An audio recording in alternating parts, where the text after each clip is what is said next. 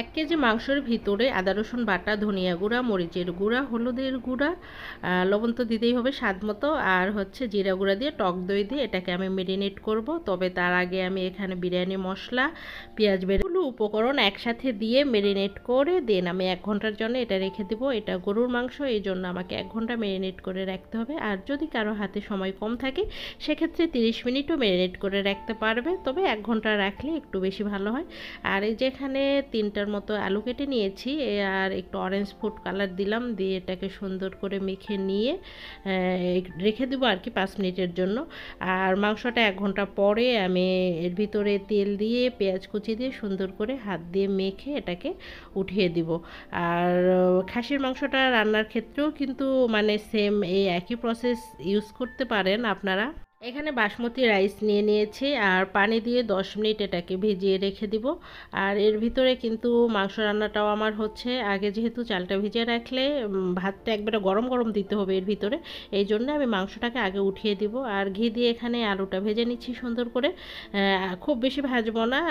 একবারে হালকা শুধু রঙটা যেন বাহিরে না বের হয়ে যায়, এই জন্য আর কি।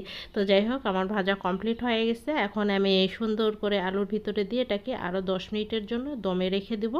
আলুটা এর ভিতরে সিদ্ধ হয়ে যাবে। আর এই যে পাশে হচ্ছে গরম পানি, গরম মশলা, তেজপাতা, লবণ, জিরা সব কিছু আর কি দিয়ে দিয়েছি। আর ধুয়ে রাখা যে চালটা ছিল আর কি ভিজিয়ে ধুয়ে রাখা আর কি সে চালটা এর ভিতরে দিয়ে দিলাম। দিয়ে আমি কিন্তু সত্তর পার্সেন্ট এটাকে সেদ্ধ করে নামিয়ে নিব। এটা একবারে কখনোই মানে সম্পূর্ণ সিদ্ধ করা যাবে না একশো পার্সেন্ট কারণ এটা পরবর্তীতে দমে দিলে আরও ভিতর থেকে নরম হয়ে যাবে। এই জন্য সত্তর পার্সেন্ট সেদ্ধ আমার হয়ে গিয়েছে। এখন পানি ঝরিয়ে আমি উঠিয়ে নিব। আর কেউ চাইলে মশলাগুলো বের করে ফেলে দিতে পারে। আমি যেহেতু এক্সট্রা মশলা আর অ্যাড করি নাই, যার জন্য আমি এটা সহই দিয়ে দিব। তো এই যে আমার প্যানে ঝরানো কমপ্লিট হয়ে গেছে, আর আমার মাংসটাও কিন্তু রেডি হয়ে গেছে এদিকে।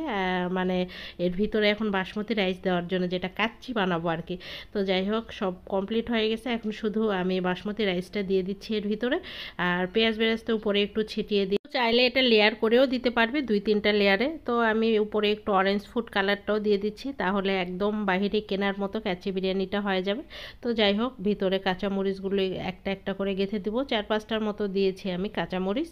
আর দেন ঘিটা তো দিতেই হবে, ঘি না দিলে তো স্মেলটা সুন্দর আসবে না, আর কাচি কাচি ভাবও আসবে না। তো আমি তিন চামচের মতো ঘি দিয়েছি, দিয়ে এটাকে দমে রেখে দিব প্রায় তিরিশ মিনিটের জন্য। লবঙ্গ দিয়ে একটা আটকায় দিলাম, আর এটা কিন্তু একবারে সরাসরি চুলার হিটে দেওয়া যাবে না, একটা তাওয়া বসিয়ে দেন আমি এটা রেখেছিলাম তিরিশ মিনিট। তো এই যে তিরিশ মিনিট পর একবারে কাচ্চি বিরিয়ানি রেডি গরম গরম এভাবে কিন্তু বানালে খুব মজা লাগে। আর অল্প সময়ের ভিতরে খুব কম পরিশ্রমে কাচ্চি বিরিয়ানিটা বানানো যায়। আর আমি একটু ভেঙে দেখাচ্ছি, ভিতর থেকে এটা খুব সুন্দর হয়ে সিদ্ধ হয়ে গিয়েছে। মাংসটাও একদম খুলে আসছে আর আলুটাও খুব সুন্দর হয়ে সিদ্ধ হয়ে গিয়েছে। তো সবাই ভালো থাকবেন। কেমন লাগল আমার ভিডিওটা কমেন্ট করে জানাবেন। আল্লাহ হাফেজ।